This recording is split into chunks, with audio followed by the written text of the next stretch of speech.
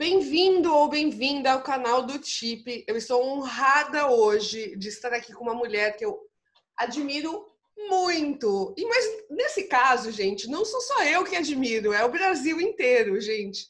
A Heloísa Schirman é realmente um ícone de muitas coisas. Eu não vou dar spoiler aqui, eu vou rodar a vinheta para a gente começar.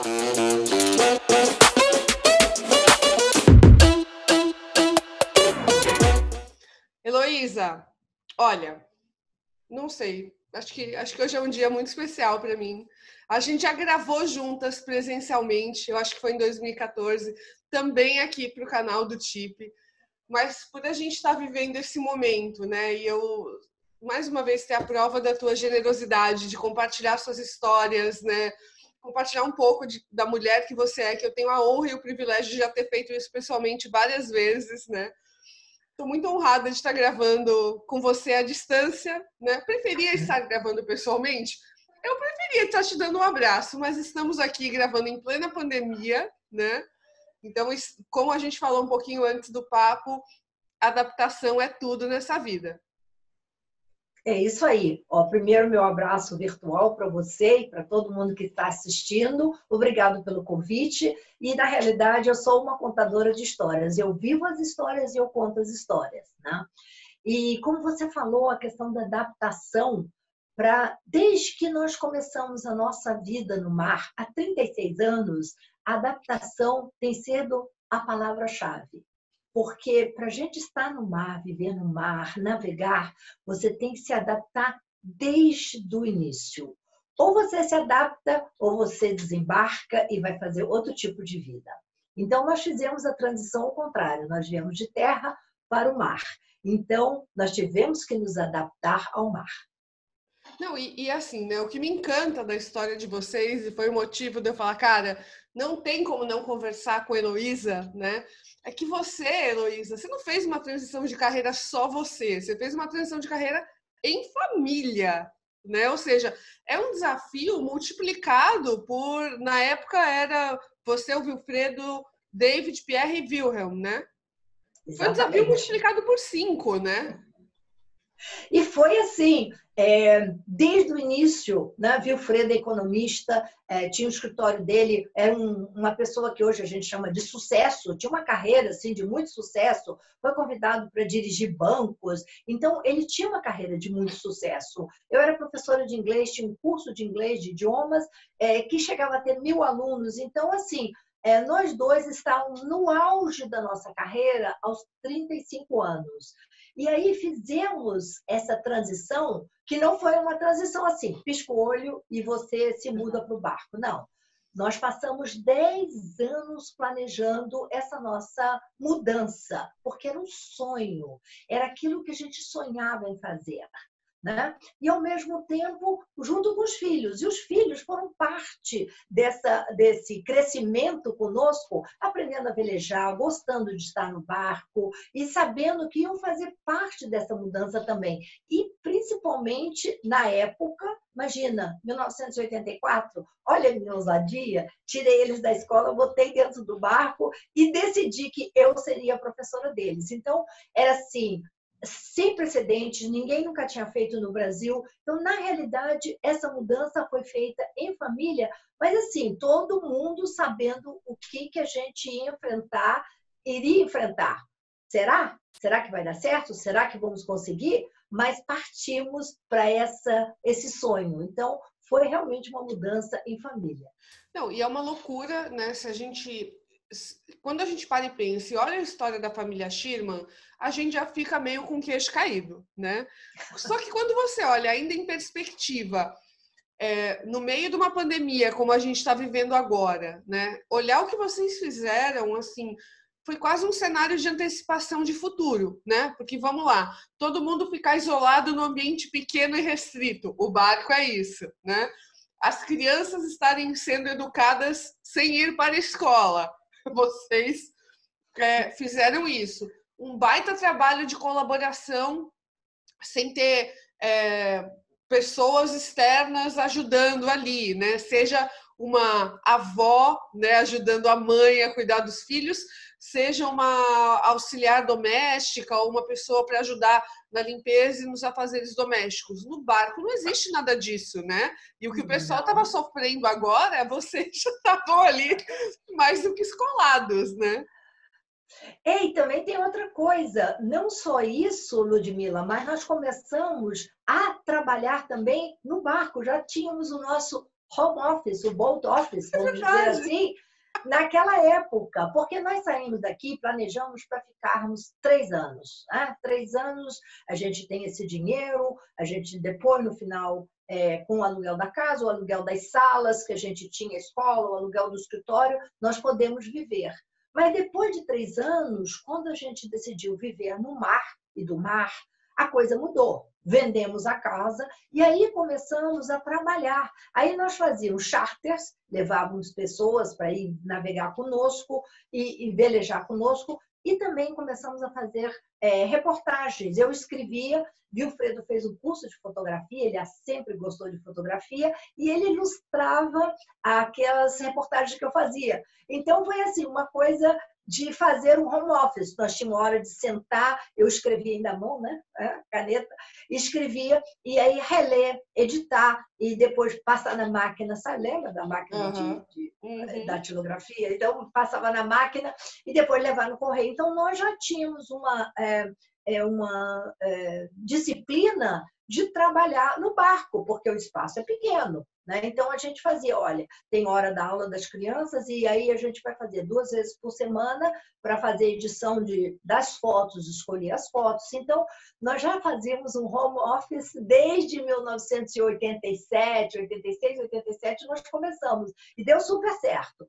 Já na segunda expedição, que foi a Magalhães Global Adventure, que nós levamos a Cat, tinha a Cat como estudante, né, como ela estava aprendendo a ler e escrever dos 5 até os 8 anos, que ela fez até a segunda série, mas nós já fazíamos uma produção maior, que era produção de vídeo, pesquisa, o que que nós vamos chamar. É, então, já eram feitos programas que eram exibidos no Fantástico e depois serviram para o Dave fazer o filme O Mundo em Duas Voltas. E nessa última, então, era assim: nós já tínhamos uma mesa de home office a bordo do Veleiro Cat, e aí, olha, era produção o tempo integral, dois anos e três meses de produção full. Então, nós já tínhamos a tecnologia melhor, né, de internet, de poder pesquisar, mas mesmo assim, nós estávamos vivendo em oito, que éramos nós quatro da família, Wilfredo, eu, o Wilhelm e a Érica. Então, assim, e o Emênio e os outros três eram parte da produção, inclusive o nosso neto também fazia parte dessa, dessa produção. Mas já vivíamos em produção, não era só um home office, era um movie office também para fazer essa produção.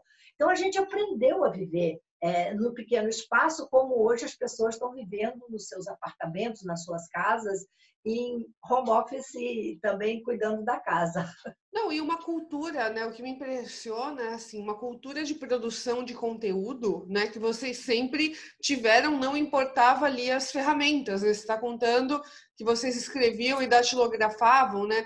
Gente, tudo isso é, é, é muita vontade de produzir conteúdo, porque eram instrumentos rudimentares, né? Imagina, é, no ano 2000, a internet era assim, né? Banda, banda larga. Aqui no Brasil, a, a, acho que a explosão foi 2001, vocês estavam no mar, né? Assim, sem banda larga, com um tipo de conexão muito mais é, restrita. Não, exato.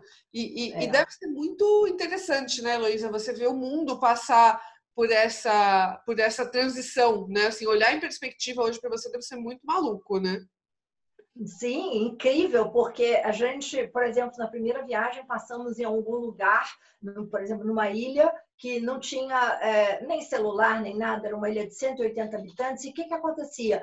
Todas as crianças e jovens vinham, colocavam suas esteiras na frente. Nós tínhamos uma, a, a, um portinho, uma atracação, porque era um porto quando os barcos de pesca vinham buscar os peixes que a, a vila pegava, colocava em cercados de bambu e, e era o único é, portinho. Aí nós atracávamos, eles vinham e ficavam lá tocando violão, conversando, batendo papo. Já na segunda viagem, quando nós passamos, já haviam colocado uma parabólica nessa ilha e não apareceu ninguém. Aí eu fiquei super, disse, ué, cadê todo mundo? Estavam todos assistindo televisão é uma ilha francesa. E estavam todos assistindo, sabe, histórias francesas em suas televisões. Isso me chocou muito. Então a gente vê essa transição. Agora, mas a gente já foi a vários lugares nessa última expedição que nem eletricidade tem. É, e era assim, uma alegria você, por exemplo, tirar uma foto de uma criança e mostrar para ela na hora aquela foto e brincar com aquela foto, colocar a orelhinha, fazer alguma coisa, e elas olharem assim, mas super surpresas, é verdade, surpresas de que aquele aparelhinho ali era um telefone. Para você ter uma ideia, é, também dos lugares que ainda são bem remotos, que não tem eletricidade, não tem celular, não tem nada. Tem lugares que há dois anos não havia passado nenhuma pessoa de pele mais clara. E quando o Wilfredo chegou lá, as crianças se assustavam e choravam. Porque eles não conheciam uma pessoa que não fosse da cor morena como eles. Eu não, eu passo batido. Mas o Wilfredo, que já é um pouquinho mais claro, as crianças olhavam para ele e se assustavam muito. Chegavam a chorar. Mas, assim, essa tecnologia, então, é mais ou menos isso. Você vê lugares que a tecnologia está chegando e que, de alguma maneira, também perdem a sua cultura. Né? Como nós vimos nessa ilha, o pessoal perde um pouco da sua cultura. Mas, em outras maneiras, também eles têm mais comunicação com os parentes, com as pessoas mais longe, e até hoje mantém comunicação com a gente, que é uma vantagem também. É, não, e, e, e, putz, me... é muito legal, assim, né, pessoal? E aproveito para recomendar, quem não assistiu ainda, tem alguns filmes aí que contam, né, fragmentos e trechos, né, da história da, da família Sherman, além dos livros, né, que eu sou muito apaixonada pelo o último livro, é o, é o último não, né, o último é o da Expedição Oriente. Isso. Olha que absurdo, da, da, da Expedição Oriente eu não li ainda. Mas eu vou ler com muita emoção, porque acho que foi o projeto que eu mais vivi. Mas O Pequeno Segredo foi um livro que me marcou muito. Eu não li uma vez só, eu li duas. Não sei se você é, sabe disso. Né? Depois o, o livro virou filme, dirigido pelo David. Né? Então, a gente consegue ter um pouquinho desse gosto, né? não só na escrita, mas visual, né?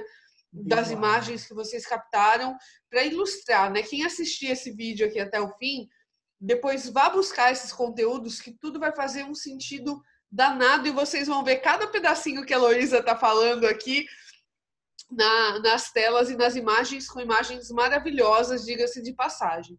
Heloísa, você, eu lembro que, se eu não me engano, foi O Mundo em Duas Voltas, que começa com uma abertura que eu, tenho quase certeza que é o mundo em duas voltas. Você me corrija se eu estiver errada. Que começa com uma abertura que conta justamente essa história que vocês foram viajar para o Caribe, aí vocês olharam o barco. Conta, quem não ah, conhece essa história, conta um pouquinho aí na tua voz. E eu adoro ouvir essa história, tá? Um milhão de vezes.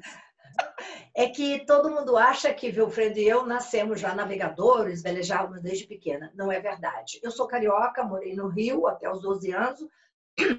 E depois eu fui morar em Nova York, que a minha mãe se casou com um americano, e fui morar em Nova York, e onde eu vivi até os 18 anos. E aí é, eu voltei ao Brasil, casei com o Wilfredo, e quando nasceu o nosso segundo filho, David, mamãe deu pra gente de presente uma semana em São Tomás, no Caribe. Ela disse: Eu fico com as crianças e vocês tiram umas férias. Imagina. Aí saímos né, em São Tomás, chegamos lá, nós tínhamos a, a posada de um amigo dela, até com carro. E saímos, fomos à praia, aquele programa de turista. Tínhamos 25 anos, pouco dinheiro, imagina, começo com um filho pequeno, sabe como é, como é, né? E aí nós saímos e de repente vimos passar um barco velejando. E aí o Fredo virou para mim e disse assim: Olha que legal, vamos dar uma volta de barco? Aí eu falei para ele: Vamos. Bom, fomos lá, compramos o ticket, fomos os primeiros no dia seguinte a chegar e entrar no barco. Né? Nunca tínhamos velejado antes, morávamos em Florianópolis, nós dois, no centro da cidade, num apartamento. Pois bem, vamos velejar. O barco saiu ao motor, eu olhei para ele e disse: Ué, não era aquela, aquela coisa bonita que a gente viu passar ontem lá velejando, mas tudo bem. Chegou no meio da Bahia, Eles desligaram os motores, levantaram as velas e o barco começou a navegar.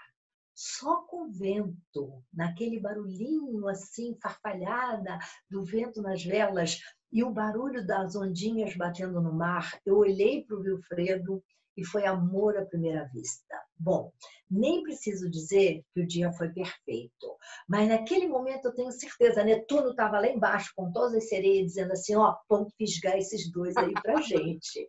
E foi assim que nós fomos fisgados. Nossa, foi um dia maravilhoso. E aí quando nós chegamos lá no último dia, o Wilfredo falou, um dia nós vamos voltar aqui com o nosso próprio barco. Gente, foi assim o início de um sonho. Não tínhamos ideia de barco, não sabíamos navegar. Né? Você perguntar onde era a, a frente do barco, atrás barco, sabíamos nada. E aí nós voltamos para Florianópolis e aí começamos é, de uma maneira assim daquela época sentar. Pegamos um caderno e diz assim: o que que a gente precisa para fazer isso acontecer? Não adianta você só sonhar, né? A coisa sonha lá em cima, bota o pé no chão e ok. Não adianta só pensar assim, vou fazer amanhã. Não, tinha um aprendizado longo pela frente. E foi assim que nós começamos, com um caderno, ali uma lista, aprender a navegar. Nós temos que comprar um barco. Imagina, ninguém tinha barco para velejar assim para longe. Começamos com um barco pequeno, que nós trocamos praticamente, é, que ninguém queria comprar um barco pesado, um barco de, é, é, como é que se diz, da classe Lightning, sem motor, sem é, cabine nem nada, era todo aberto, um barquinho que cabíamos eu, o Wilfredo, primeiro o David, o Wilhelm, depois na, uh, o David e o Pierre, depois nasceu o Wilhelm, e de salva-vida eu segurando os dois pequenos e velejando ali com uma barraca, e aí a gente começou a navegar ali por Florianópolis. Então, Vamos assim, lembrar que sem internet, né? Ou seja, hoje você vai se alçar um sonho desse, você tem um monte de site que fala, você tem um monte de gente para trocar ideia, você tem comunidade. Em 1984, foi por aí? Não, isso eu estou falando de 74, tá. 74, 75. Então não tinha nada. Então, pilhas de livro, pilhas de revista, aí eu cortava as revistas, manutenção. Aí fui fazendo folders, vários, vários, vários arquivos. É, como consertar a vela, como lidar, como fazer abastecimento de revistas americanas, inglesas, francesas. Então era assim, barcos que paravam lá na ilha de Florianópolis, a gente ficava lá na frente conversando e dizia assim, olha, nós temos uma ancoragem, nós moramos numa casa, nós tínhamos comprado uma casinha numa vila de pescadores, em Santo Antônio de Lisboa. Vocês podem vir lá, ó, nós temos máquina de lavar, vocês podem lavar roupa lá, e aí, mas eles vinham com uma condição, vocês vão sentar e contar como vocês fazem. Essa era a nossa pesquisa, vamos dizer assim, do Google, do, do qualquer outra fonte de pesquisa. Economia aí, colaborativa, né, Heloísa? Assim, é de economia colaborativa, né? Acho que o mar tem é muito essa essa lição a ensinar para a gente, né? Sim, de solidariedade, né? Eu te dou, eu, eu dou para vocês um chuveiro. A gente tinha carro para eles é, poder fazer as compras, mas ao mesmo tempo eu quero saber e dinheiro, e escola, e como vocês fazem os vistos, como você sabe? Então, ali foi formando todo um dossiê de tudo que eu precisava a saber e aprender. Hoje, quando as pessoas falam de Gandhismo, se tivesse internet naquela época, se tivesse todas as ferramentas, teria diminuído assim esse tempo muito grande que a gente. Mas foi maravilhoso, porque foi muito construtivo. Li muitos livros, o Fredo leu muitos livros, e um aprendizado grande que a gente teve e montamos a nossa biblioteca de bordo. Esse é um ponto muito legal, né, que, que você acabou de falar, Heloísa, que assim, às vezes a internet, por, por tá tudo ali, é maravilhoso, amo a internet, sou fã número um, mas assim, ela também te corta algumas partes do processo que são importantes, né? Isso que você falou, pesquisamos, olhamos, depuramos informação, trocamos ideia. Às vezes a internet, por ter tudo tão fácil, ela te tira né, de partes que são importantes do processo, né? É, porque na época eram as ferramentas que a gente tinha, era o contato olho a olho, cara a cara, para falar com as pessoas. Então, acho assim fundamental. Muitas da última expedição é, também, eu também tive que ler, ler os livros do, do Zheng He, o navegador, que nós fomos para a China, e vários outros livros que nem muito desse material hoje está na internet ainda Mas é realmente você tem que passar por esse processo de aprendizado, de pesquisa e de conversar com as pessoas. Quando Exato. nós fomos na expedição, nós conversamos com os historiadores para buscar é, em universidades e em museus é, a verdadeira história. Então, você precisa desse contato também. Perfeito, perfeito. E aí, então, a gente está falando de 10 anos de planejamento, 10 anos vivendo intensamente um processo para falar chegou o grande dia.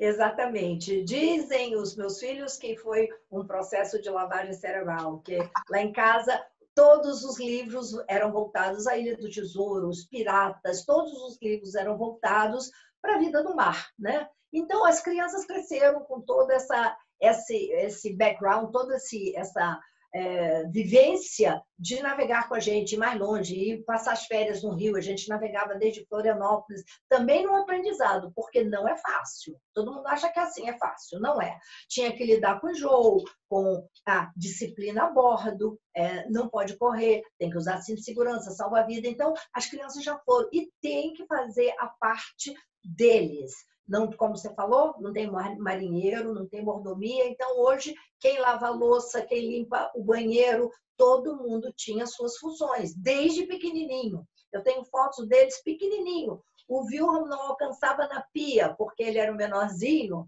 é? então a gente colocava uma caixinha para ele é, de, de madeira, para ele ficar em pé, para ele alcançar a pia. Né?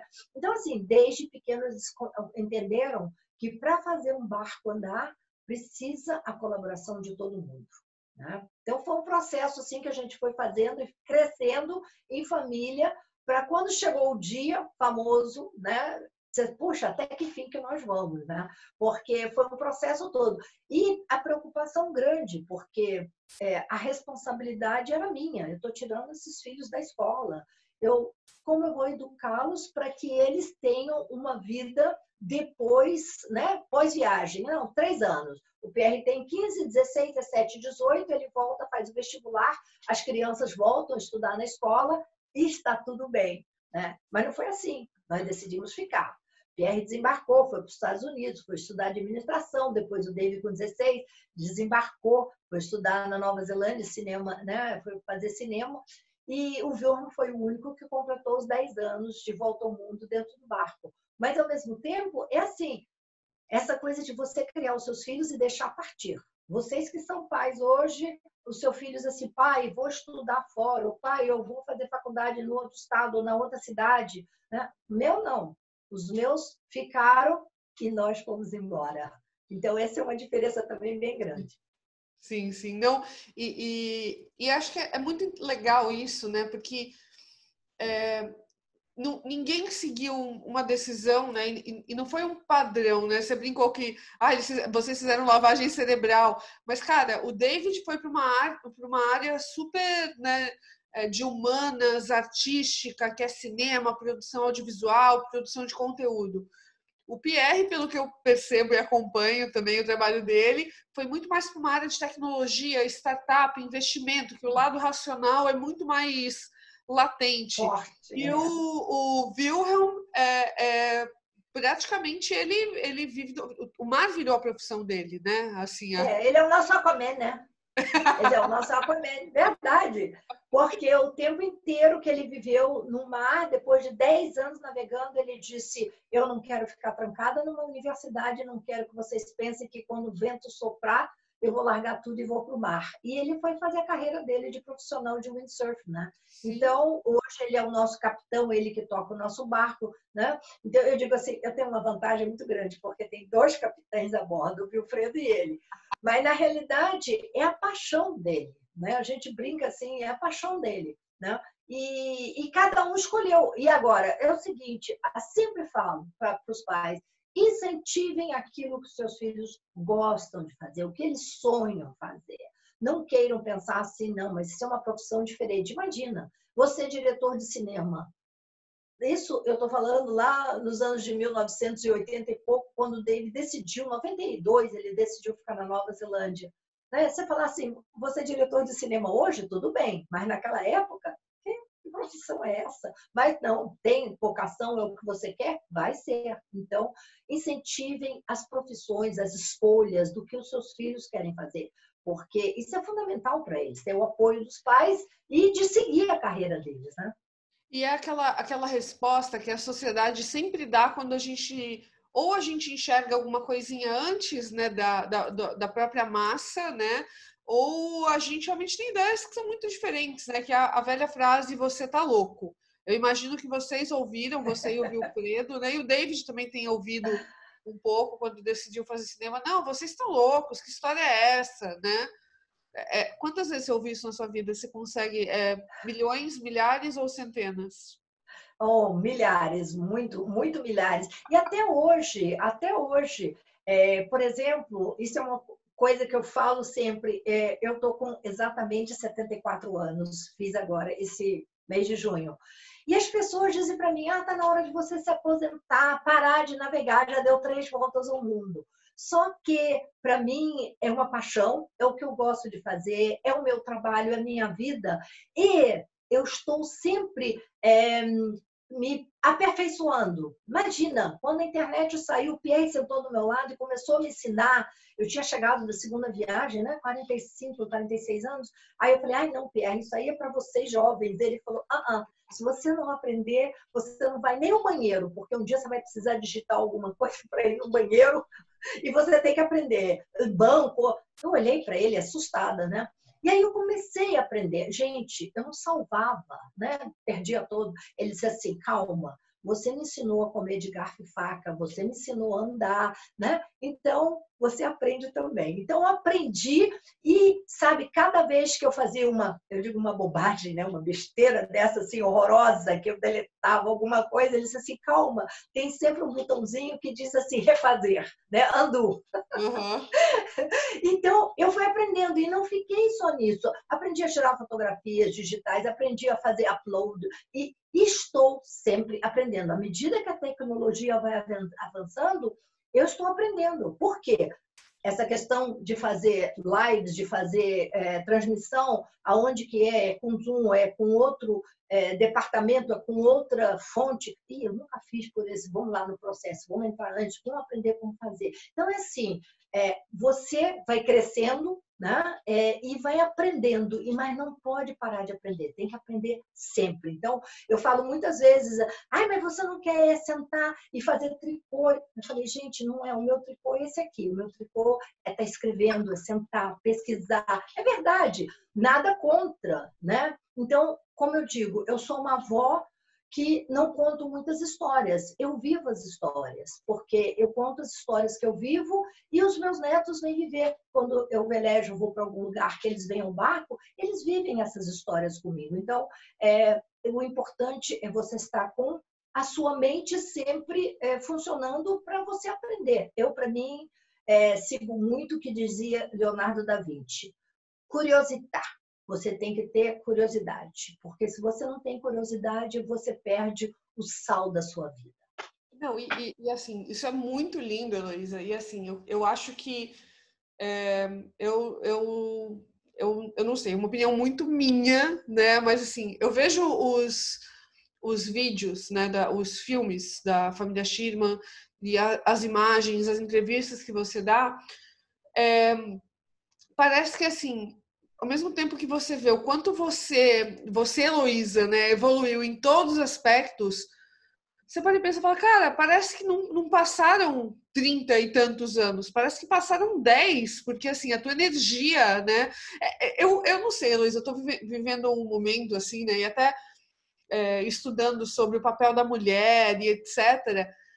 Cara, hum, essa coisa de idade é um conceito muito antigo, né? Assim, se você for pensar. É um número. Eu não consigo é olhar para você, Luísa. Não consigo olhar para você e pensar, cara, ela tem 74 anos de idade, né? Para mim, eu, eu, não sei, cara. Eu, eu, eu, eu, tiro 30 anos aqui, tranquilamente. Imagina. Não, Imagina. é porque eu, eu tô falando. Não, sem brincadeira, Luísa. Eu tô falando do, do modelo mental, da forma como sim, você. Sim, sim pensa, da forma como você raciocina, da forma como você lida com as coisas, né? Se você pega uma outra mulher de 74 anos de idade, E é normal, né? Você tem um, um enrijecimento muscular, você tem um, o corpo, né? Ele, ele, ele passa por um processo de, de aging, né? Mas, uhum. cara, teu cérebro parece que não, cara. Teu cérebro parece sempre que é o. Não, não, não, cara. Que é e fisicamente também, porque você não pode. É uma, é, o seu corpo humano é uma máquina, se você parar, você enferruja. Né? Mas fisicamente. Eu, eu Fisicamente, Fisicamente você tem 30 e tantos anos para mim, tá? Fisicamente. Mas é, Nessa pandemia, eu fiz assim muito mais autodisciplina, já que eu não posso ir para uma academia porque eu estou em São Paulo, no barco, eu me pulo do barco, eu nado, eu levanto velas, então é outro tipo de exercício, né? Eu tenho que estar ágil, porque se chega uma tempestade, eu tenho que estar no leme, eu tenho que levantar vela, eu tenho que, sabe, fazer manobra, eu tenho que estar fisicamente bem. E nessa pandemia, como eu estou em São Paulo, eu prometi a mim mesmo, eu digo, não, você tem que continuar mesmo sem mar. Então, assim, eu danço, eu faço zumba, tudo eu sozinha, eu e meu foninho. E eu faço zumba. É, é minha, a meu personal trainer, eu não pago nada, é a sombra. Na hora que o sol tá lá e eu olho a sombra, eu tô lá fazendo exercício. E power dancing, e faço, lógico, é, agachamento, faço o meu exercício por quê? Porque eu tenho que estar bem comigo mesmo fisicamente. E lógico, mentalmente também, porque pior louca do que eu já fui, já sou, não posso ficar pior, né? Então, realmente, aprendizado, lendo, é, cada vez mais é, me renovando, me reinventando sabe? Então, assim, é, eu sempre digo, idade é um número que você tem na carteira de motorista, na, tem no seu, no seu RG, mas a idade é aquilo que você faz da sua vida, porque você tem que estar se renovando. Não é que eu tenho, ah, porque eu tenho medo de ficar velha. Não, não tenho. Não tenho medo de é, crescer e ficar mais velha. Sou avó de cinco netos, gente. O mais velho vai fazer ainda 30 anos. Então, que é maravilhoso, mas... que é o Emmanuel, que é maravilhoso. Não é? Não é? Então, eu tenho cinco netos, sou avó de coração, mas ao mesmo tempo eu tenho que ser a mulher sabe? Gostar muito de mim, para me cuidar. Gosto de estar cuidado com meu cabelinho bem feito, gosto de usar brincos, gosto de estar bem comigo mesmo. Mas isso, sim, é fundamental você é, estar bem com você para você poder, como dizia é, um livro que a minha mãe me deu quando eu estava grávida do meu filho. I am okay, you are okay. Se eu estou bem, todo mundo do meu lado vai estar bem. Não, e, e, essa coisa de vibrar, né? A gente pega, a gente, a gente se agarra a uns clichês que eles deixaram de ser verdade há muito tempo. Esse clichê do tricô, esse clichê que uma senhora de 70 anos tem que se vestir toda de perolinha e de roupinha bege, etc. Imagina, a Heloísa vibra a cor o tempo inteiro. Ela vibra a cor, minha gente. É isso. Olha, minha heroína nesse ponto é a Iris Apple. Não, eu ia falar conhece. o nome dela agora. É, eu falo que é meu é, ponto de carreira. 98 anos ela está. Modelo com as cores todas, os brincos lançando é, é, joias. E ela tem uma frase que eu amo, que ela diz assim, se aposentar é a pior coisa que pode acontecer com você. Parece a morte, porque você para no tempo e no espaço. Não, eu não estou falando de uma pessoa assim de 78, 98. Vocês procurem e vejam, porque ela é uma, um ícone, né? um exemplo é, empreendedora, continua trabalhando. Então, várias outras mulheres também, que a própria Jane Fonda, né? Sim. Está lá, é, ativista, brigando. Então, é assim, pessoas que não deixaram passar no espaço-tempo. Isso que você falou, não no clichê. Nada contra o tricô, pelo amor de Deus. A minha mãe fazia muito bom tricô. Mas é esse, esse clichê que é, as pessoas têm que estar se renovando, se reinventando. Vai viajar, vai conhecer, vai fazer aventuras. Mas é, não ficar parado no tempo e no espaço, principalmente mentalmente, né? Heloísa, me arrepiou o que você falou agora, porque assim, se você entra no meu Facebook, a frase de descrição é Iris, Iris Apfel é meu role model. Então, meu plano de carreira é envelhecer como ela, né? Que foi uma mulher que quebrou um monte de barreiras, assim, muitos paradigmas para o tempo dela. Ela trabalhou desde cedo, ela se embrenhou lá na Casa, na casa Branca para fazer toda a parte de é, decoração interior ela viveu com o mesmo parceiro, o marido, que é o Cole, por quase é. 100 anos. Essa história é linda. Ela não, optou por não ter filhos. E ela fala que foi uma decisão, que na época dela. Na época. totalmente diferente de é, hoje. Uma mulher hoje optar por não ter filhos. Assim, para mim, ela é a ídola. Eu não sabia que você tinha essa, essa admiração por ela também. Eu tenho duas, eu tenho por ela e pela Sylvia Early, que é a Senhora dos Mares, é a primeira mulher a mergulhar, a viver no fundo do mar, e hoje, acho que ela está com 87, também continua, ela acabou de lançar um livro ano passado aqui no Brasil, e ela luta pela, pelos oceanos. Ela é a senhora dos mares. Todo mundo conhece pela né, Mrs. Ocean, porque ela é a dama dos mares. E ela vem um trabalho ativista desde que ela era jovem, foi mãe. Inclusive, ela estava grávida quando ela morou numa estação espacial subterrânea, quer dizer, debaixo d'água. Fizeram a primeira estação debaixo d'água e ela morou, e ela inclusive estava grávida. Então é uma mulher também muito batalhadora e que eu admiro muito. Ela, sabe, tá assim, firmona e sempre é, lutando para o ideal que é de estar com os oceanos melhores, né? com os oceanos limpos. Então, ela vem é, batalhando nisso já faz bastante tempo, desde, desde que ela era jovem também. É, e, e essa, essas referências, especialmente de mulher, porque a gente cresceu num mundo onde a gente viu que esse lugar de super admiração ele sempre foi dos homens, né? Mas a gente tem esse, esses exemplos de mulheres fortes, né? Que quebraram esses paradigmas, acaba sendo muito importante também para a gente tomar as nossas decisões de vida, de carreira, né? É importante não emular a história dos outros, mas entender que alguém já passou por, por alguém já traçou aquelas pegadas, né? Exatamente. E, e é assim, quando a gente começou a velejar, por exemplo, era um universo masculino, né? Correr regata. Imagina, viu, Fred, você vai levar sua mulher como coisa que ele me pegasse assim com a corrente e me levasse no pescoço. Né? E aí as pessoas ainda me perguntam como seu marido conseguiu levar. Eu, eu brinco e digo assim, né? Mas, na realidade, é, você vai porque você quer, porque você gosta, e para mim é uma paixão. Está no mar, está velejando. Mas é muito engraçado porque você quebra os paradigmas. E quando eu estava, por exemplo, com as crianças pequenas, minha mãe me deu uma grande mão, ajudou a cuidar das crianças. E aí as pessoas dizem assim: você não tem filho pequeno, não? Não vai cuidar dos teus filhos? Vai sair para velejar, correr regata? E as crianças?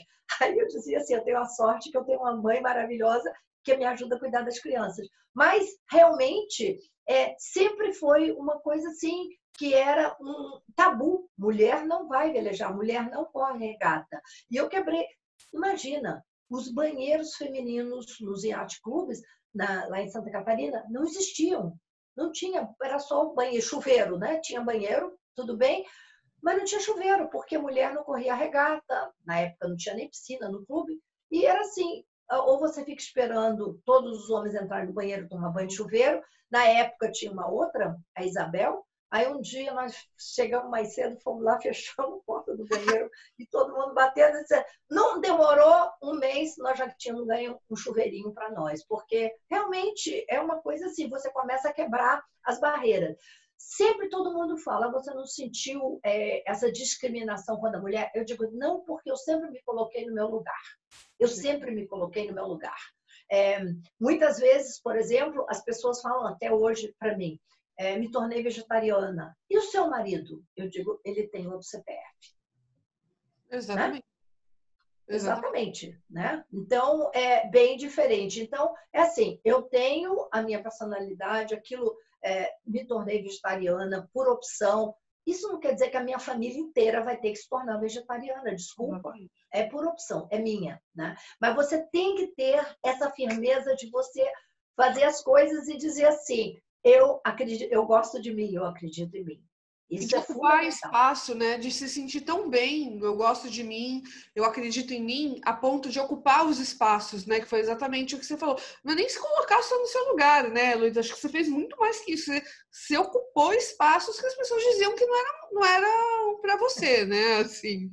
E, e, e fez isso lá, fez isso agora, que eu tenho certeza que assim quando a gente ainda entrar um pouco mais profundamente nessa, nessa discussão do egeísmo, né, é, é, da, da idade, né, da quebra dos paradigmas de idade, certamente, assim, cara, tranquilamente no Brasil, acho que você é um dos poucos ícones, né, assim, a gente precisa de mais Heloísas, né, a gente precisa de, de, de uma rede de Heloísas, na verdade.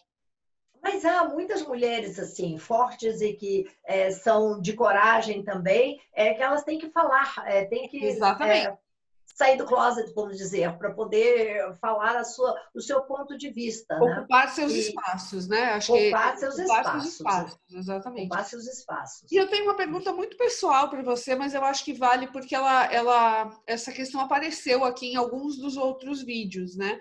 Que assim, a questão das viagens, né? O quanto viajar, né? Eu sei que hoje no Brasil quem viaja está num lugar de privilégio, é, apesar de ter melhorado muito nos últimos anos, né?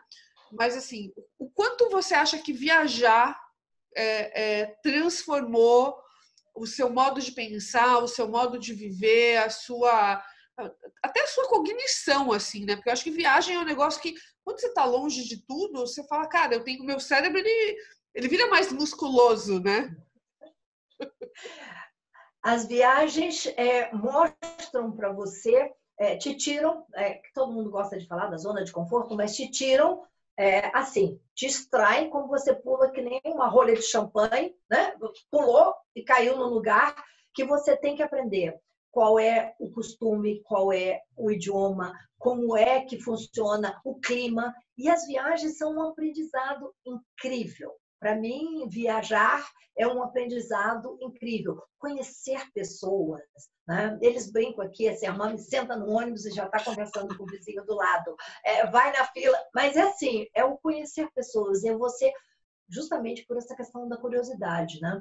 E viajar é um aprendizado. É, quando pais me dizem assim, ah, eu vou passar dois meses fora, estou preocupado com a aula dos meus filhos, eu digo, não se preocupe, faça ele fazer bastante leituras e vá nesses lugares que você vai, faz ele escrever sobre aquele lugar que ele está, faz ele conhecer. Ah, porque eu vou fazer um curso de dois meses.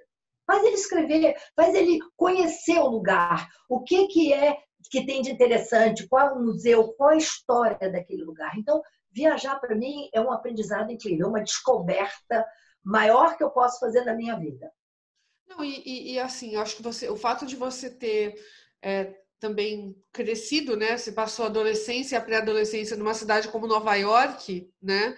Também tem ampliado muito os teus horizontes, né, Heloísa? Assim, eu não sei é, é, se você fala geralmente sobre isso, mas acho que é um ponto interessante, porque a gente acha que transitar uma carreira é só uma decisão de um momento, mas não é, né? É uma soma de muito repertório e muita referência anterior também, né? É, e são muitas escolhas, porque a minha mãe escolheu, ela ia casar com um americano, era viúva, conheceu, vou me mudar para Nova York, levou minha irmã e eu. Então foi assim, uma opção dela, que mais ou menos como eu fiz, meu Fred e eu levamos os filhos, e mamãe levou. Mas foi assim, um abrir um, um, toda uma vida. Imagina, abriu a janela do mundo para gente, né? Então eu e minha irmã dizíamos, às vezes estávamos na calçada em Nova York, no meio da Quinta Avenida, um monte de gente, nós dois sentávamos na calçada. Aí ela dizia para mim assim, ela é dois anos mais nova que eu, é o único lugar do mundo que a gente pode sentar na calçada e ninguém perguntar, aconteceu alguma coisa? A gente estava lá, o mundo todo passando, todo mundo passando. E assim, tudo que acontecia em Nova York, né, no anos, nos anos 60, e, e o movimento paz e amor, né? Então estava tudo acontecendo. Então nós estávamos literalmente vivendo nesse mundo. Agora, realmente foi a melhor coisa que a minha mãe podia ter feito foi de ter levado a gente é, para viver nesse mundo de Nova York. Era difícil, mas foi maravilhoso. Foi é totalmente, de novo, uma cidade totalmente diferente do que é hoje, né? Anos 60, anos Exatamente. 70, lá era uma coisa muito louca, né? Assim, Isso. era um outro contexto. Mágico também, um outro contexto, mas era mágico também, né? Então, e Nova York, com shows de Broadway, tudo que acontecia, às vezes a gente tinha um convite para ir assistir e de repente a gente entrava no subway para ir de manhã é, ou para trabalhar ou para ir para a escola, e de repente você olhava para o lado, tinha um índio sentado, vestido todo, ou tinha uma mulher vestida dos tempos. Eu dizia assim, só em Nova York que você vai ver, sabe, essas coisas assim, no subway, no metrô, né? Mas então foi uma vivência incrível. E tudo quanto era parada, eu e minha irmã íamos. Parada a favor do aborto, vamos. Parada contra o aborto, vamos. Parada não sei o quê, nós íamos. Porque era o momento da gente estar participando da vida é, da cidade, né? Tudo que estava acontecendo naquele, naquele momento ali. Então a gente participava de tudo. Nós éramos bem. Tudo, né? Porque esses movimentos que aconteciam lá naquela época influenciaram toda uma forma Muito, de pensar ocidental, né? Assim. Exatamente, exatamente. Legal. E, e Heloísa, assim, é, você falou que você era professora de inglês, né? E aí, enfim, teve todo esse processo de de 10 anos, né, de, enfim, e, e eu imagino que você estava ali, né, encarando a maternidade de frente também, não foi só uma transição de carreira, foi uma transição de estilo de vida, né, a questão da maternidade, enfim, como é que é, como é que é assim, né? É, indo para os termos é, práticos, assim, você não enlouqueceu em nenhum momento? Você não achou, falou, cara, será que isso vai dar certo? Será que isso não vai dar certo? Como, como foi assim? Como você se empoderou para falar, ok, é isso aí? Realizar um sonho. Quando você tem um sonho maior todas as outras coisas vão se encaixando ou vão se tornando é, obstáculos. Não, eu, tô, eu tenho meu sonho lá na frente. Então, para mim, foi pensar no meu sonho, realizar esse sonho e todos os outros que me é, impulsionou. E tem uma coisa, um segredo que eu vou contar, que é assim, eu sempre fui muito organizada. Então, para mim, funcionou assim, quando as pessoas falam administração de tempo, é, divisão de tarefas, eu sempre fui muito organizada. Então, a minha organização era assim, é, hora que eu tenho de levantar para fazer exercício, hora que eu tenho que levar as crianças para o colégio, hora que eu tenho que buscar as crianças para o colégio. Então, eu tinha uma tabelinha, né? Nem, nem era celular, né? Tudo no papel, meus horários. E, por exemplo, você quer ver uma coisa? Eu minimizei é, certos trabalhos que eu tinha que fazer. Então, na época, eu ia muito à feira e tal. Um dia eu conversei com uma pessoa que eu sempre comprava na feira, eu falei o seguinte: o senhor mora mais distante da minha casa, né? Passa todo dia lá no meu portão, passo. Então, vou fazer o seguinte: toda vez que tiver feira, eu venho aqui, lhe entrego a lista pronta e quando você passar, você me entrega em casa. Um delivery. Eu estou falando isso em 75, 76, 77. Então, eu fazia, mimeografado, que nem era xerocado, mimeografado a lista e eu botava lá cebola, chuchu, o que eu precisasse. Aí passava lá na quinta-feira, entregava na feira para o meu feireiro lá, o seu Zeca. Ô, seu Zeca, tudo bem? Tudo bem. E quando eu chegava em casa, ele já estava entregando, acabou a feira, ele entregava tudo em caixotes, né? Sem saco plásticos, né? Todas frutas fresquinhas e não sei o quê. É, depois ele passava na volta e, e pegava. Mas assim, entregava em casa. Então, é, isso é, me economizava o tempo de ir para feira, procurar na feira, de ver. E eu sabia que ele sempre me dava os preços melhores, porque ele me queria manter como cliente. Né? Então, ali era mais ou menos. E eu falei para duas ou três pessoas, minha irmã passou a usar os serviços dele. Né? Ele disse: Ó, oh, dona Heloísa, que bom, eu tenho mais duas clientes, que a minha irmã morava ainda mais longe do que eu. Mas, sabe, então, assim, o marketing, né? E ao mesmo tempo sempre fui. Então, para mim, a organização funcionou. Você imagina sair com três filhos? Tivemos que uh, fazer fotocópias, xerocar toda a uh, certidão de nascimento, traduzir para o inglês, francês, espanhol, todos os documentos. Não, a organização tinha que ser assim, uma coisa. E eu já vinha com essa organização. É, tinha que ser impecável. E até hoje, então, dei conta, da, eu dizia assim, malabarismo, leva a criança para o colégio, traz, leva na natação, traz e não sei o quê. Mas isso eu fazia porque eu colocava os meus horários e no meio dos meus horários. Lógico que às vezes dava uma confusão qualquer, aí nem dava para, sabe, pegar todo mundo no colégio na mesma hora, mas é, organização para mim funcionou e funciona até hoje. Aqui eu estou, por exemplo, na casa do David, tenho meus horários, tenho cumprido é, toda a minha agenda do que eu tenho que fazer. Mas, ao mesmo tempo, também estou dando conta que o Kian, por exemplo, quando está aqui, tem hora de escola, tem hora que ele tem que almoçar, eu tenho que estar tá com o almoço preparado, eu já cozinho na véspera antes, já faço um prato que eu sei que no dia seguinte ele tem horário para almoçar, dá umas, duas.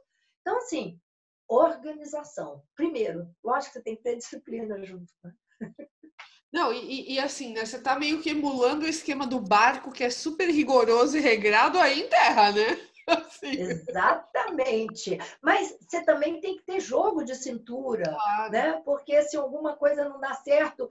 E é uma coisa é, é, que a gente aprende no mar, é que você não está em controle de tudo você tem uma vulnerabilidade muito grande. Você está navegando, mesmo com previsão de tempo, o tempo diz que vai dar 50 nós, e de repente entra 60, entra 70, e aí você tem que lidar com aquela nova situação. Você tem como falamos adaptar, você tem que improvisar alguma coisa que você não estava esperando.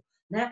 Mas esse, isso lhe dá é, mecanismo de que você já fez um aprendizado e que você tem que ter calma para poder lidar com aquela situação. Então, é, essa pandemia, eu estou aprendendo muito. Eu estou aprendendo a viver numa cidade, já estou aqui há 140 dias, né? E é, mudança de hábitos também. Porque todo mundo diz assim: ah, mas é difícil mudar meus hábitos, acordar cedo para fazer exercício. É. Eu digo: desculpa, você já imaginou que há 140 dias atrás ninguém ia sair sem uma máscara no rosto, ninguém ia chegar e lava a mão e desinfeta, e desinfeta todos os, os, os alimentos ou o que vem de fora. Você já pensou quanta mudança de hábito essa pandemia incorporou no seu dia a dia? Sabe? Essa pandemia te incorporou também a mudança de hábito de você respeitar o espaço do outro. Isso a gente já tinha aprendido no barco. Eu trouxe só mais para casa, né? Então você tem que respeitar o espaço do outro. É minha hora de fazer a minha entrevista ou o meu live, não sei o quê. Meu neto de 11 anos tem que saber que ele tem que respeitar, que ele não pode abrir a porta, que ele tem que estar sentadinho lá, ou lendo um livro, ou vendo um vídeo, o que for, porque ele tem que respeitar esse espaço. Então, cada um tem que aprender isso. É, um, é uma, um ensinamento novo para as pessoas. E muitas dessas coisas são ensinamentos novos para mim também. Sim. E, e Heloísa, você falou muito do sonho, né? Assim, que o, o, que te manteve firme naqueles momentos que são, putz, meu Deus do céu, o que, que vai acontecer? Mas eu, eu tô vendo, eu não sei se você vê também, pessoas que ainda que seguiram muito esse piloto automático da vida, né? Que seguiram essa narrativa de é, ser bom aluno, carreira, casamento, filhos, e de repente elas olharam assim, tá, mas eu não sei nem qual é o meu sonho, né? Eu acho que tem muita gente assim que não não se permitiu sonhar, né? E você contou que o, o grande momento de descoberta do Wilfredo foi durante uma viagem, né? Que foi foi um, um que é outra coisa legal também, né? É, agora, o que, que, dica você dá para quem ainda não entendeu, né? ainda não, não, não testou o seu caminho e nem está. Talvez nem a pessoa esteja paralisada para sonhar. Eu acho que eu estou vendo muito isso. Assim, né? Esse momento de pandemia também deu uma paralisia nos sonhos. Com toda a tua sabedoria, o que, que você diz para essa turma? Olha, é normal que tenha dado uma parada, porque é mais ou menos como a gente estivesse navegando e de repente a gente batesse de frente é, com um iceberg que a gente não vê. O iceberg está debaixo d'água, né? um container que está debaixo d'água e de repente o teu barco para. Tá?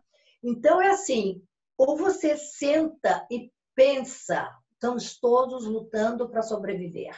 Né? Nesse momento de desemprego, esse momento de muita incerteza econômica né, que nós estamos vivendo, ou você para para pensar realmente é isso que eu quero da vida? É esse o momento que eu quero para mim, para meus filhos? Tem o aluguel da casa, tem a prestação do carro, tenho todas as contas para pagar. E o que, que eu vou fazer? Mas será que é isso que eu vou querer sempre?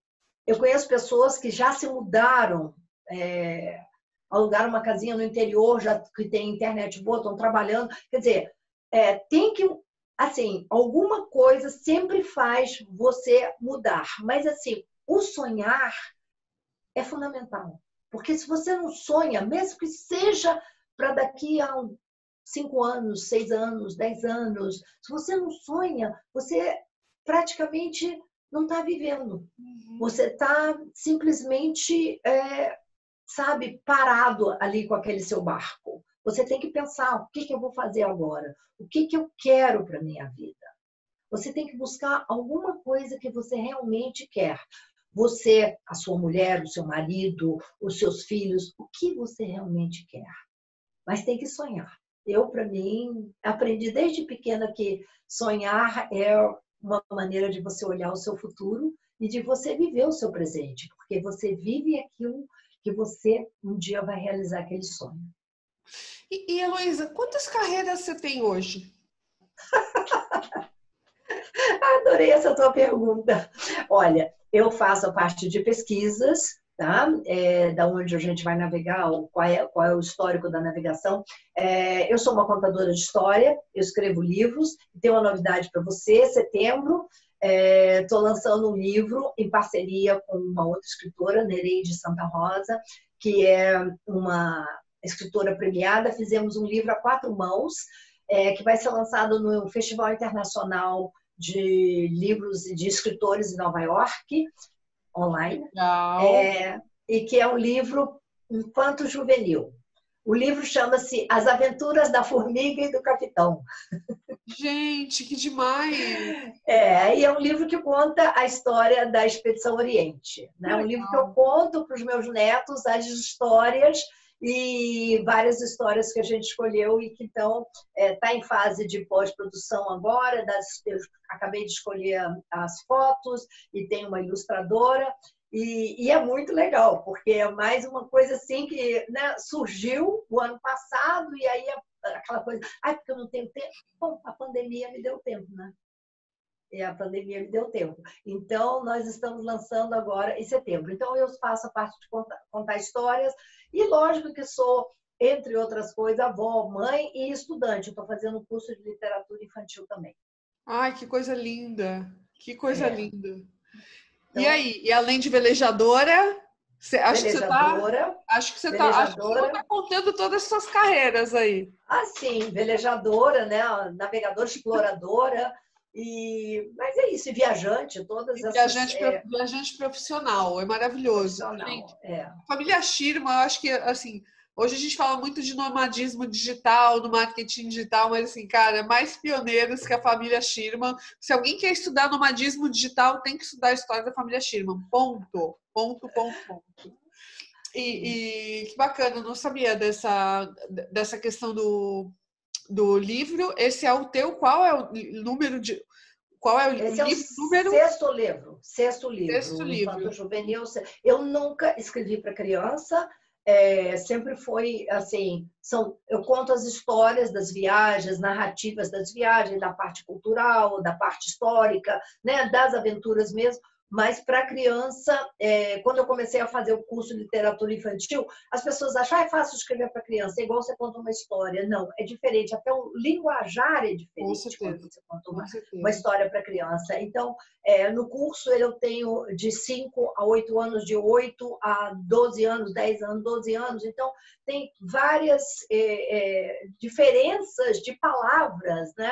O medo, o pavor, aterror, aterrorizador. Então, assim, são palavras que exprimem o mesmo sentimento, mas que são de diferentes é, maneiras de falar com uma criança. Você não vai falar com uma criança pequena, ah, isso foi uma coisa aterror, aterrorizante. Não, você fala uma coisa que me deu medo. Então, tem toda uhum. uma, uma, uma técnica aí que eu estou aprendendo.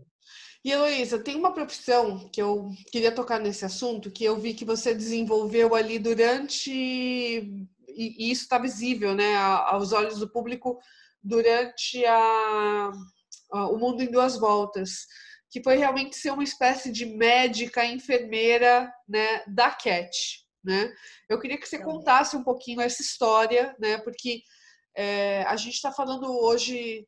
É, e, e, e, de alguns movimentos que eu acompanho também, muito de cuidado paliativo, muito de qualidade de vida para o paciente, muito do paciente escolher como ele vive, né? Eu acho que vocês também são outro, uma outra referência, né? De, de quebrar aquela, aquele estigma do que, que é uma, do que, que é a pessoa e do que, que é o paciente, né? Tem uma frase que eu não sei se você sabe disso, mas um dos dias mais especiais da minha vida foi o dia que vocês voltaram para o Brasil e eu estava lá na Marina em Itajaí e a gente ficou conversando um tempão lá no barco, né? Assim, e você, assim, você foi tão maravilhosa e tão generosa aquele dia. Você contou a tua história de uma forma tão linda, assim, tão é, é, não tinha nada acontecendo. Era só nós duas e o luar, assim. E você estava me contando toda a questão da Cat, toda a questão é, de preconceitos que, que, que, você combateu com ela, assim. Eu queria que você falasse um pouquinho disso, porque é uma... É, querendo ou não, foi uma, um, um, outro desenvolvimento seu ali, né? Eu vi que era um outro... Era uma outra... Não era só ser mãe, né? Era ser muito mais do que mãe. E a Cat veio, eu acredito, para me ensinar é, muito desse amor incondicional, que a gente acha que tem. Ah, eu não tenho preconceito, ah, eu... E a Cat veio para ensinar esse amor incondicional, né? Ela chegou nas nossas vidas e a maneira de que o Robert, o pai biológico dela, é, nos deu, né? A Cat, assim, no primeiro instante, que ele falou queria que vocês adotassem a minha filha porque eu estou muito doente. Eu estou falando, é, quem não sabe da história, a, nós conhecemos o Robert e a Gianni na Nova Zelândia, ele neozelandês e a mãe dela, a mãe dela é, do Amazonas, a Gianni. E, e, ele conheceu a Gianni no Amazonas, casou com ela e ela foi atropelada e recebeu transfusões de sangue e uma das bolsas de transfusão foram seis transfusões e ela recebeu é, numa transfusão o vírus do HIV. E eles não sabiam. Casaram, ficaram super felizes, eram velejadores também e foram morar na Nova Zelândia, daí os encontramos. E Cat nasceu de parto de cesárea, porque a Giane tinha platina e não podia ter parto natural e tal, nasceu de cesárea uma criança é, normal, 3 quilos e 200 tal. Um casal forte, jovens. E aí, é, bom, com o passar do tempo, Gianni foi ficando doente, foi ficando cada vez mais magra, e o Robert resolveu voltar ao Brasil para trazer, para conhecer os avós é, no Amazonas e, ao mesmo tempo, para é, ver se ela se recuperava, porque ela estava muito sozinha na Nova Zelândia, né? E quando eu a conheci, eu ajudei ela a montar o quartinho do neném, né, da menininha, então estávamos super felizes. E aí, quando eu voltei para o Brasil, nós recebemos uma telefonema, falamos com eles pelo telefone e, ele, e eles estavam muito agitados, era pelo rádio, não tínhamos telefone na época. Queremos falar com você, queremos falar com você, por favor, entre em contato com a gente. Bom, passado um tempo, eu fiz o lançamento do meu primeiro livro é, no Yacht Clube do Rio de Janeiro e apareceu o Robert com a Cat no colo. E aí a gente feliz de revê-los, ela bonitinha e tal. E cadê a Jeane? Ele falou, ela faleceu. Ela teve um câncer e morreu. E Cash estava com dois anos, dois anos e seis meses. E aí, naquele momento, é, começamos a conversar e aí depois convidamos ele para ficar no bar conosco. Vem, vem velejar com a gente e tal. E aí a Cat veio, ela com os olhinhos brilhantes, sempre muito animada, sempre foi uma criança muito animada. E aí saímos para velejar e quando nós saímos de Santos, é, indo em direção a, a Florianópolis, é, pegamos um tempo feio ali na altura do Paraná, né? Aquele ventão contra, não sei o que, a Cat estava dormindo. Aí o Robert veio falar com a gente: Olha, eu queria falar com vocês que na realidade a Gianni não morreu de um câncer, ela morreu de AIDS.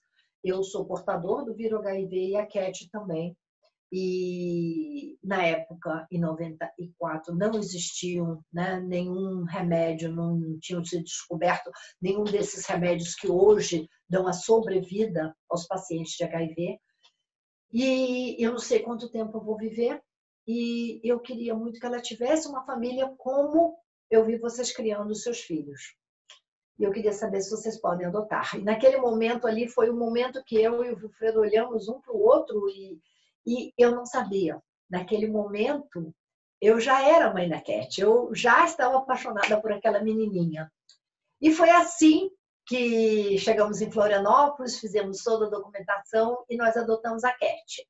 Bom, eu fui para o hospital, é, vim para aqui, para São Paulo, para o hospital, para aprender tudo sobre uma doença nova que ninguém sabia nada, é, que era mortal, pegou HIV, é mortal. Né? O Robert disse: Olha, não sei quanto tempo ela vai viver. E o médico no hospital disse seis meses. E ainda falou para mim: você vai adotar? Para que fazer esse tempo todo com a papelada se ela não vai viver até o Natal? Aquilo me chocou. Nossa. Eu falei: nossa. Aí o Robert fez toda a documentação, assinou e foi embora. Quando ela fez três anos, foi a última vez que ele né, entregou o papelado e foi embora. E aí eu comecei, então, a buscar recursos. Nós fomos, é, levamos para os Estados Unidos, onde ele tinha já consultado um médico, e fomos buscando recursos de tudo quanto era lado para ver o que, que a gente podia fazer. E nesse ano de 95 é, foi descoberto já o primeiro é, retroviral e não sei o que, e começamos a fazer os tratamentos da CAT. Mas, ao mesmo tempo, nós fizemos um pacto em família. Ninguém vai falar o que, a CAT tem. É, por quê? Porque na época era uma discriminação incrível contra uma pessoa que tivesse HIV, como eles diziam, aidética, né? Ah, uma fulana aidética, que na realidade não tem nada a ver, não é o termo que se usa. E nós falamos, não, ela tinha dificuldade de caminhar, ela era menorzinha do que todo mundo, mas super inteligente. E todo mundo perguntava: Nossa, vocês adotaram uma criança com dificuldades de caminhar? E disse: Não, é porque o pai dela. Mas como? O pai dela não podia criar, a mãe dela morreu e ele nos deu. Então ganhamos esse presente de Deus e dos mares, né? Porque eram dois navegadores que se encontraram.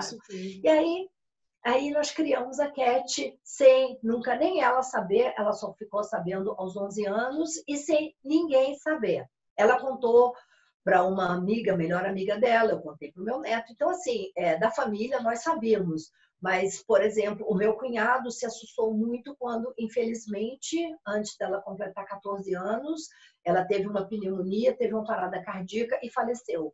E ele não se conformava porque a gente nunca contou para ele. A professora dela de natação, que é minha melhor amiga e que dava natação para ela e fazia ela nadar, aquela nada pra lá, nada pra cá, quê? Tá com preguiça. É, Fazia-se uma, uma uh, dureza com ela, mas ela, sabe, estava ali firme. Por quê? Ela, eu não contei para ela nunca que a Cat era uh, soropositiva. Não por nada, mas porque eu queria que ela tratasse a Cat como todas as outras uhum. crianças. E eu sempre dizia para ela: você é igual a todas as outras crianças. Então, assim, é uma doença que precisa de cuidados, precisa realmente de tratamento, né? E, por exemplo, eu fui para o hospital com a doutora Márcia, uma pediatra, nessa área lá em Itajaí, e aí sentei com ela todos os remédios, tudo que podia ser feito, o que podia ser feito, qual a emergência que a gente podia encontrar, né? E quais os remédios que podiam tomar é, para evitar o, sabe, alimentação, superalimentação. Então, fomos é, construindo tudo ali. É, eu já tinha feito curso de primeiros socorros antes daquela preparação de 10 anos, com meu irmão que é médico, porque eu estava levando três filhos para o mar, né? Já imaginou? o que, que eu ia fazer se alguém caísse, quebrasse, machucasse, precisasse de uma injeção. Então, eu fiz um mês de curso de socorrista de primeiros socorros com meu irmão no hospital. Quase morri no início. Nossa, entrava cada um lá, entrava e eu dizia, ai meu Deus. Uma vez entrou um baleado cheio de. Eu falei, ai, não quero. Mas de qualquer maneira. E aí com a Cat eu fui aprendendo. Com a doutora Márcia montamos a farmácia. E decidimos, os médicos não queriam, decidimos que ela vai sim, ela vai viajar, ela vai velejar. E foi maravilhoso. Ela era super aventureira, era a primeira a acordar, vamos para aventura, vamos para aventura. E em nenhum momento Cat ficou doente. Ela ficou doente de ter comido mariscos no Chile. Ficou uma semana assim, com diarreia, que teve que ser tratada. Foi um dia para o hospital. Mas assim, um tratamento intensivo que nós fizemos com ela e depois ela teve uma outra que ela teve um problema de pele, é, que eu dizia assim, como que ela vai ter esse problema de pele, é, sabe, é, uma erupção cutânea? Eu falei, Jesus, o que, que aconteceu? E aí a médica me pediu naquela época, disse assim, me tira a fotografia. Imagina, 64K. Tirei fotografia, aí ela falou, ela está com erisipela. Alguma coisa que você está usando no pijama dela, alguma e aí eu fui descobrir, você não acredita, que eu pendurava a roupinha dela para secar e tinha caído um cocô de gaivota numa da, dos ah. pijaminhas dela. E quando ela vestiu, aquilo ali causou uma infecção, porque as pessoas soropositivas têm um sistema imunológico muito baixo, né? Nossa. E ela coçou e aquilo, bom, mas curou. Então, Cat viveu uma vida que em nenhum momento foi é, tratada. Ah, coitadinha, ah, porque ela é doentinha. Não, é uma criança igual a todas as outras. Na escola, na natação, no velejar, ela sempre foi também criada com uma autoestima muito grande. Porque eu dizia para ela sempre, quando ela voltou a viver na vida, é, no colégio, na vida normal, enfrentando outras crianças da idade dela, pré-adolescentes, que diziam assim para ela: Nossa, você é aleijadinha, não sabe andar né? Aí ela virava e dizia assim: É, mas eu aposto que eu botar você num barco numa tempestade, você vai fazer xixi nas calças. Né? Por quê? Porque a gente falava, Cat, vocês deu uma volta ao mundo, você enfrentou a tempestade. Né? Essas crianças que estão estudando com você têm o seu dia a dia, joga futebol, rala o joelho, cai, machuca, quebra um braço, mas você enfrentou muito mais. Então a gente sempre motivou a Cat e mostrou para ela que ela era empoderada. Vamos dizer essa palavra? Empoderada. Ela era ela. Né? E uma das coisas que. Isso aqui é uma coisa que eu sempre falei e continuo falando. Cat, você pode ser tudo que você quiser na vida. Tá? E os homens podem ser algumas coisas na vida que as mulheres podem ser. Astronauta, médica, tudo. Menos uma coisa muito especial, que é ser mãe.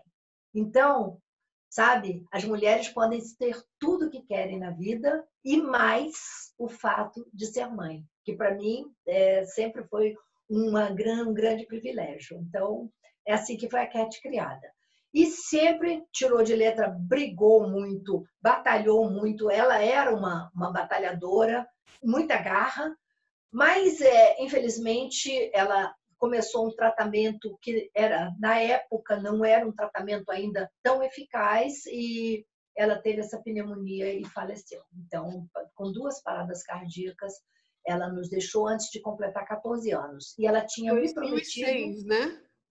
2006. Ela tinha me prometido que quando ela fizesse 14 anos, ela ia contar para todo mundo. Aí eu falei para ela, Cat, vai ser uma barra. Ela disse, barra eu já vivo. assim, barra eu já vivo. Eu falei, tão bom. Porque não é fácil. É, uma vez, num, num evento que a gente estava fazendo de angariar é, fundos para mães soropositivas, as pessoas faziam uns comentários assim incríveis. Ela sentadinha do lado e eu falava para ela: não fala nada. Aí, quando as pessoas que estavam ali ajudando, é, não, porque nós vamos conseguir doações e não sei o quê para as pessoas. Aí acabou o evento, ela virou e disse para mim, mãe, como as pessoas são ignorantes e tem essa discriminação contra a pessoa HIV. Eu já falei, por isso que a gente não conta para ninguém, sabe? Então, mudou muito. É, sempre que eu faço campanhas hoje, eu vejo que mudou muito. Ainda há certo tipo de discriminação, ainda existe, e nós temos que batalhar cada vez mais para que não haja nenhuma discriminação. Né? Uma vez nós assistimos um concerto de crianças surdas e mudas. Aí veio a mulher e anunciou: Estou aqui para anunciar o concerto é, dessas crianças que é, são deficientes. Aí ela virou assim: deficiente como? As crianças vão fazer um concerto Deficientes são as pessoas ó, que não têm cérebro, chamam as outras de deficientes. E aí aquilo ali ficou também uma lição para mim. Né? Então, realmente a Cat veio me ensinar esse amor, essa, esse amor incondicional, essa solidariedade com todas as pessoas, independente é, das dificuldades que você tenha, seja de locomoção, seja de visão, seja de audição, você tem uma dificuldade porque você tem desenvolve outras capacidades. Exatamente. É, esse é um ponto. Desenvolve outras capacidades. Sim, não, e, e, e, sabe o que me chamou a atenção? Eu não conhecia essa parte da história que o Robert virou para você e falou: ah, a Jane morreu de um câncer, né? E, e, e é muito curioso, eu estou pensando aqui, se o paciente oncológico já sofre preconceito e para ele foi melhor falar que ela estava com câncer do que com HIV, imagina o tamanho do preconceito, né, que a, as pessoas com HIV sofrem, né? Assim, é, é surreal. É. E vários, e vários outros, né? Outras é, é, dificuldades que as pessoas têm, né? De não caminhar. Inclusive hoje é, eu vejo isso muito com pessoas com depressão, que eu recebo muitas é, é, e-mails e, e né? Facebook está aberto, todo mundo me manda, de pessoas com depressão que escondem, né? E, por exemplo, eu recebi um, uma mensagem de um menino de 9 anos, é, eu sou um pequeno segredo.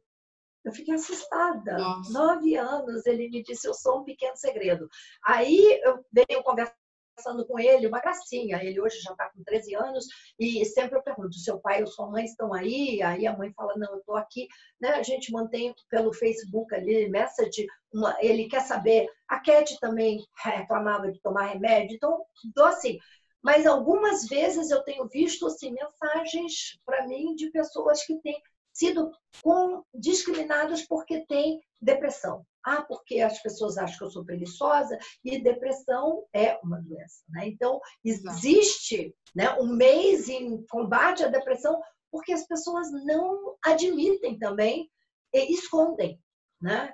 Então, eu tenho uma amiga muito grande que ela teve depressão e que ela escondeu muitos anos é, das pessoas que ela tinha depressão. Então, é complicado também. E as pessoas têm discriminação.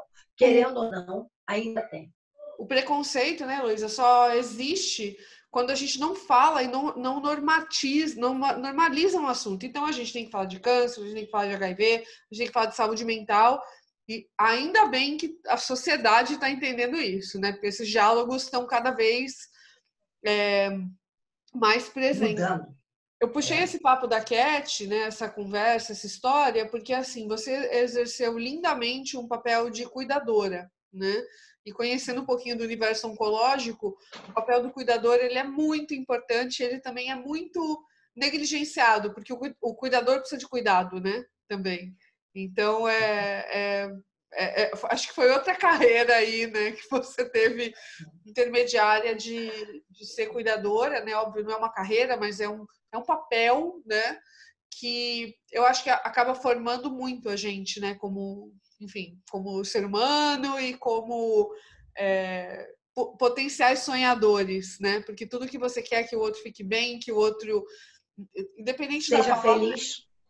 É, exato, independente da palavra cura estar na mesa, é. né? Que eu acho que é um é. ponto é, é super importante, né? Às vezes não é, às vezes a cura não é não é o que muda a história, né? Não é o que muda a sua qualidade de vida. E a Cat teve um privilégio gigante de viver no mar, de fazer viagens incríveis, de ver o que acho que a maioria né, dos, de nós seres humanos comuns não veremos, né?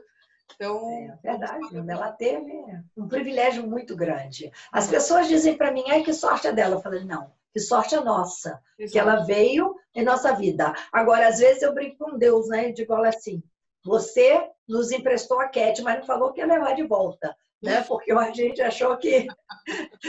e a gente aprende isso da impermanência. Nada é seu, ninguém te pertence, a vida dos outros não te pertence. Essa lição, para mim, custei a aprender, custei a entender, sabe? Assim, cair a ficha, né? De vestir o chapéu que é a impermanência da vida de todos nós. Hoje nós estamos, mas ninguém sabe o dia de amanhã. Sim. Todos nós. Exatamente. E tem que dar um amor, parar e dizer para as pessoas: ó, oh, eu te amo. Independente de quantas vezes, está tão fora de moda a gente dizer para as outras pessoas: eu gosto de você, eu te amo.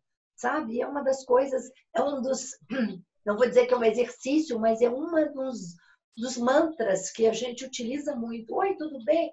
Eu te amo, é, sabe? I love you, eu te amo, é, tô com saudades, eu te amo. Mas é tão pequenininha, são três palavrinhas que as pessoas se esquecem de dizer. Ah, não, mas ela sabe que eu amo, mas uhum. desculpa, fala. Fala, é, repete.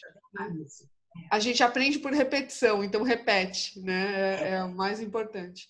E Heloísa, assim, eu ficaria o dia inteiro aqui conversando com você, porque eu sei que histórias não faltam, né?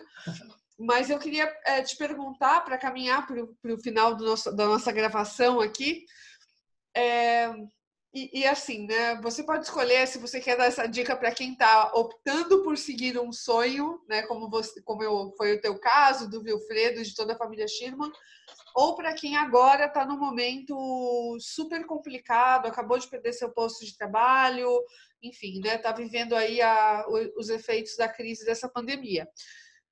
Que, que você diria para essas pessoas como três dicas durante uma fase de, de transição de carreira, de escolher para onde eu vou agora, né? Qual vai ser o rumo da minha vida é, profissional e pessoal, né? Como desdobramento. O que, que você diz para essas pessoas? Se você tem oportunidade, se você tem oportunidade, é, busque aquilo que faz o seu coração bater.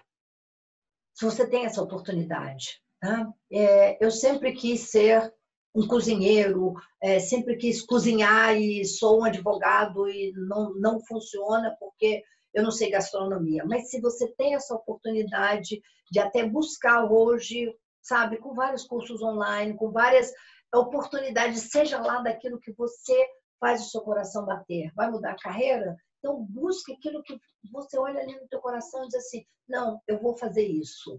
Tá? Então, essa é uma dica que eu vejo assim.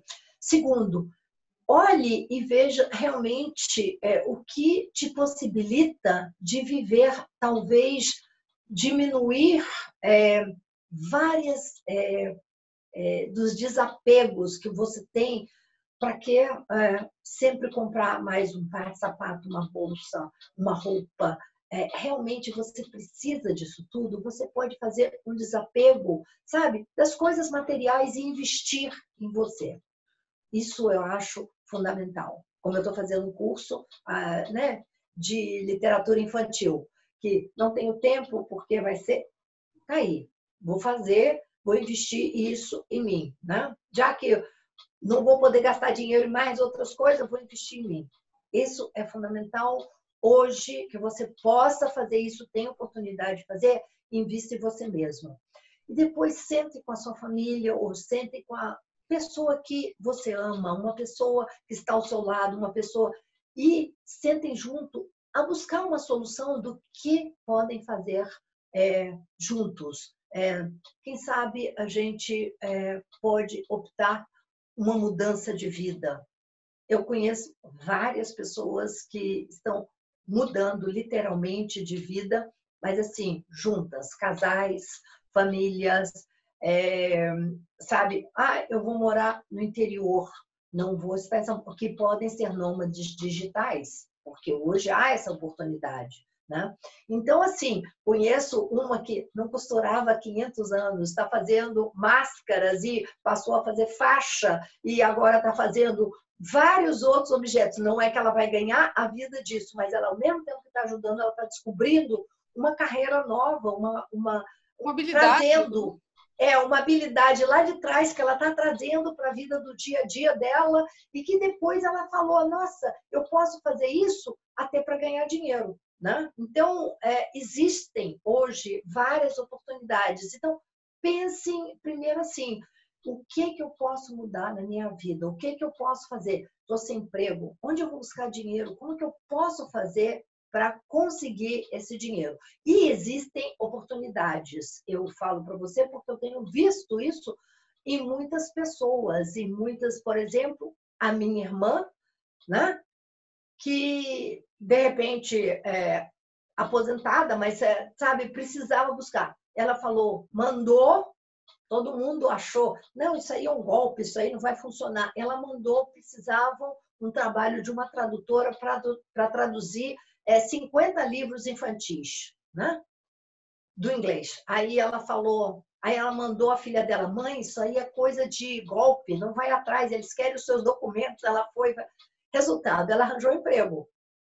E hoje ela está trabalhando com essa empresa, fazendo tradução né? Agora, começou na pandemia. Então, você diz assim, poxa, ela arranjou emprego na, em plena pandemia, sabe? E ainda ganha em dólar.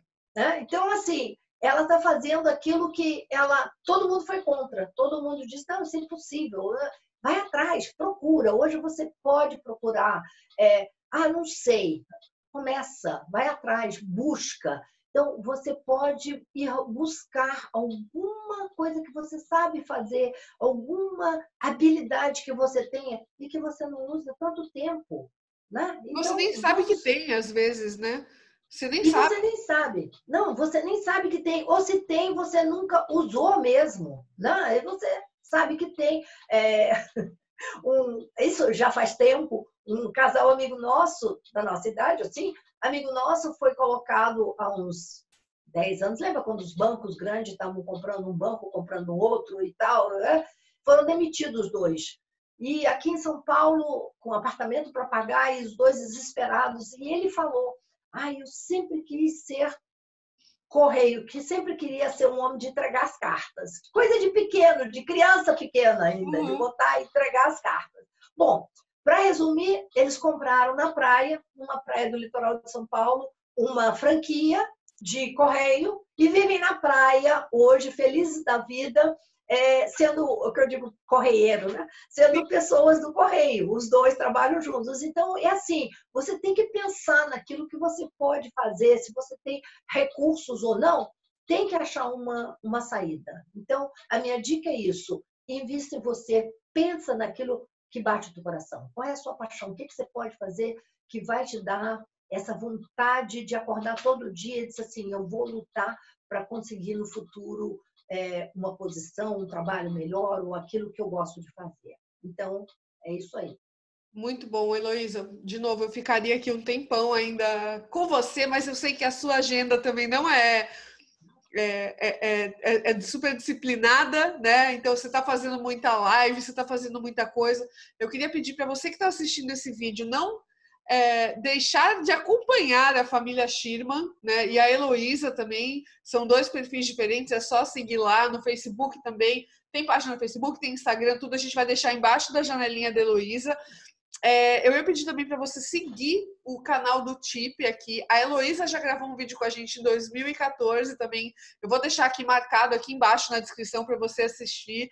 Só que a história dessa mulher não para, né? Então, o que a gente grava em 2014, gente, ó, tem, tem muita história e tem muita coisa que aconteceu depois disso. Eu queria muito agradecer, Heloísa, e queria dizer a seguinte frase para você: eu sou apaixonada por você. Então, eu posso falar que, Heloísa, eu te amo.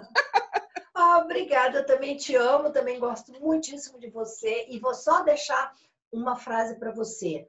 Por pior que sejam as tempestades, elas sempre passam. Podem demorar, mas essa passa também.